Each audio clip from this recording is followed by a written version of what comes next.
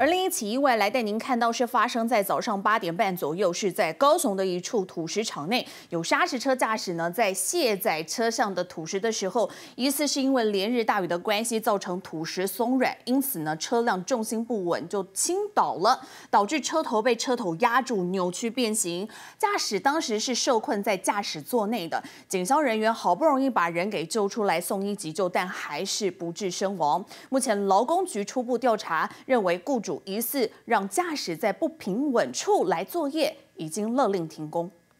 砂石车车头被压在橘色车斗下，严重扭曲变形，几乎成了废铁。警消人员出动机具破坏，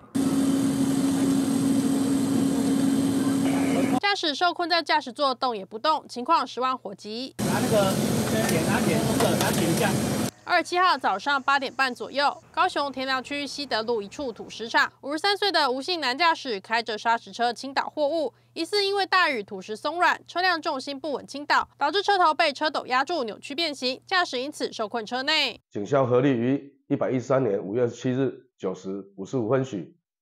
救出驾驶，并送往义大医院救治。经过三个多小时的救治，男子还是在十一点多由医院宣告不治身亡。因为雇主没有妥善规划安全的搬运作业路线，这已违反了职业安全卫生法第六条的规定。劳检处已勒令现场停止作业，最高可处雇主三十万元的罚款。劳工局初步调查，雇主疑似让驾驶在不平稳的斜坡进行土石倾倒作业，导致意外发生。回到现场，业者低调没有回应。整起事件详细的事发原因还有待进一步调查厘清。不过，雇主恐怕也将被移送地检署追究相关的刑事责任。记者苏怡婷、叶红荣高雄报道。